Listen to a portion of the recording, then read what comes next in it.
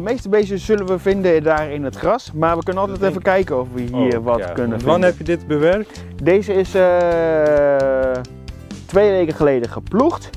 En vorige week hebben we de grond wat fijner gemaakt, zodat de plantjes eh, wat beter Ja. kunnen groeien. Oké. Want eh, wormen houden niet zo van ploegen, dus we kunnen... Nee, misschien Even zijn ze allemaal wel weg. Het is ook niet zo heel erg lekker weer, dus dat Nee. zou ook een even kijken. reden kunnen zijn.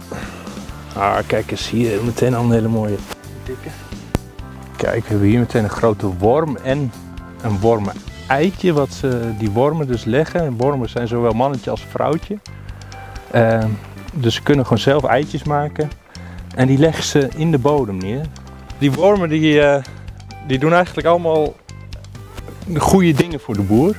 Doen ook vooral die kleine wormpjes.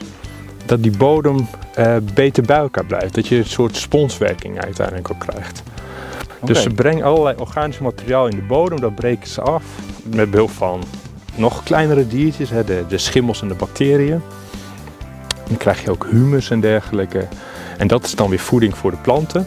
Maar het is ook weer voeding voor al dat bodemleven eh, dat daar ook in leeft. Dus die wormen die, die, eh, zijn eigenlijk een soort sleutelspelers in dat hele bodemleven. Want die versnellen dat, eh, dat hele proces.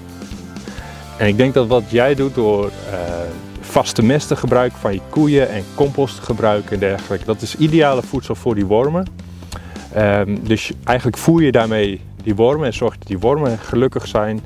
En uiteindelijk vertaalt dat zich weer uit naar een gezond gewas wat, eh, wat hierop groeit.